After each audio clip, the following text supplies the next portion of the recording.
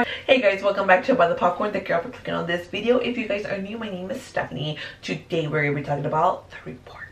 They really did was make it impossible to prosecute a mass murderer because if what we did to him ever came out in a court of law, the case is over. The guy planned 9-11. So 11. The Report is rated R. It is a drama thriller. It is two hours long. Release date is November the 15th. So the movie, it does take place within a decade and we do jump through the timeline kind of quickly. You never really get to full on know obviously everything that's going on. So Dan is actually tasked to have to go through um, the old uh, CIA records to try to figure out what exactly they did through these um, interrogations. Basically when they were torturing the terrorists um, after the 9-11 attacks. Now in this particular deal, I really don't want to get too much into it because it is a political movie and um, I know how a lot of people, you know, you never really talk politics.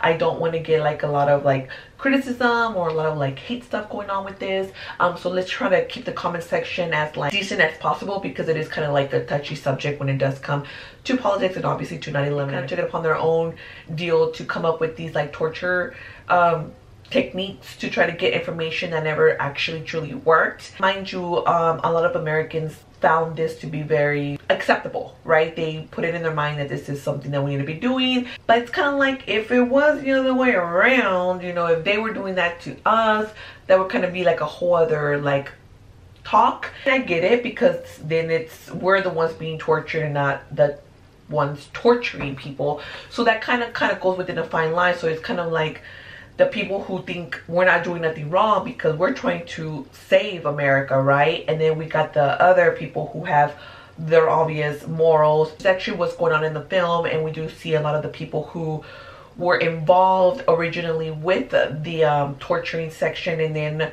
just were again disgusted were not for it and you know decided to get transferred and um, we're gonna kind of just kind of cut it there because again um that very touchy and you know you may be for or against it i don't know. Want to share down below you're more than welcome to. No judgment i'm neither here nor there for it. it it is what it is. It happened at the end of the day the movie really is just a political movie because you never get any real connection to any of the characters. Well me personally i never was connected to anyone. Dan was very just kind of like here like there's like no real emotion with him. Somewhere around the uh, uh, movie they did show like a little small clip when uh, zero dark 30 came out. That political movie i did enjoy. Mentioned snowden not the movie just the actual um, person. The movie's actually when snowden ends up finding out that the cia is actually hacking um, illegally into person and spying on people if you want to make a game out of it good luck with that because you will be drunk probably within like the first 30 minutes of it if you take a shot every time that they see the report. We're working on the report for about five years and they really wanted to build the case and get all the evidence that they possibly could. Uh, plus just like any kind of like political deal, you know, people want to shut it down and not have it, you know, come out to the open for Americans to see and know exactly what those who the people who are supposed to be like protecting them are actually doing, which is like violating their rights or violating just human rights in general. This movie is two hours long. I felt the whole two hours you guys. I at some point they would have like this big kind of like revelation or this big like omg kind of in a way moment.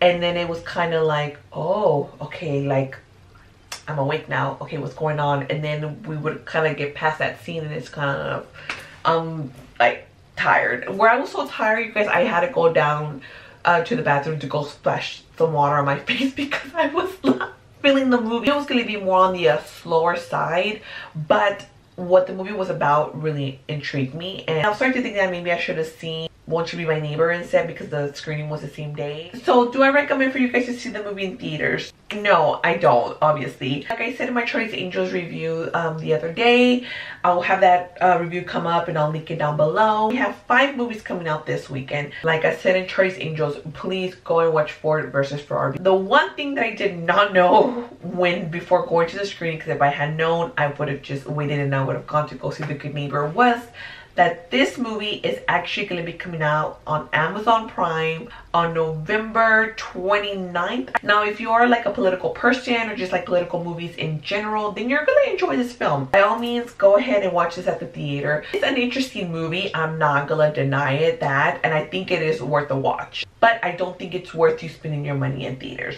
Before you guys click out of this video, don't forget to give it a like, subscribe to my channel if you haven't yet. Don't forget to hit the notification bell so you'll be notified each time I post something new. And until next time, I'll be seeing you guys at concessions. Bye!